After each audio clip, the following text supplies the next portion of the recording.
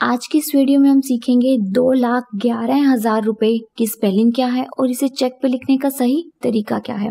तो स्टार्ट करते हैं। अगर आप अकाउंट पे चेक दे रहे हैं तो आपको चेक के सबसे ऊपर कॉर्नर में लिखना है अकाउंट पे ओनली उसके बाद जहाँ पर पे लिखा हुआ है एबीसी नेम शो हो रहा है आपको स्क्रीन पर, वहाँ आप लिखेंगे उस व्यक्ति या कंपनी का नेम जिसे आप चेक दे रहे हैं।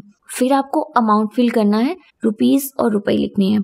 दो लाख ग्यारह हज़ार रुपए मात्र, जिसे इंग्लिश में कहते हैं two lakh eleven thousand rupees only इसकी स्पेलिंग है T W O two L A K H lakh E L E V E N eleven T H O U S A N D thousand R U P double E S rupees Y only two lakh eleven thousand rupees only आपको हिंदी और English में से किसी एक ही language में लिखना है।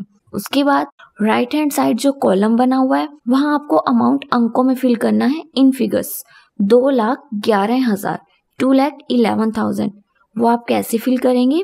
To double one उसके बाद थ्री टाइम ज़ीरो दो एक एक, उसके बाद तीन बार ज़ीरो चेक के नीचे कॉर्नर में सिग्नेचर का कॉलम बना हुआ है, वहाँ आपको अपने सिग्नेचर करने हैं। ऐसे ही और वीडियोस देखते रहने के लिए हमारे चैनल को सब्सक्राइब करें। अगर आपको हमारा प्रयास पसंद आया है तो हमारी वीडियोस को लाइक करें। आपके लाइक हमारे लिए बहुत मायने रखते हैं।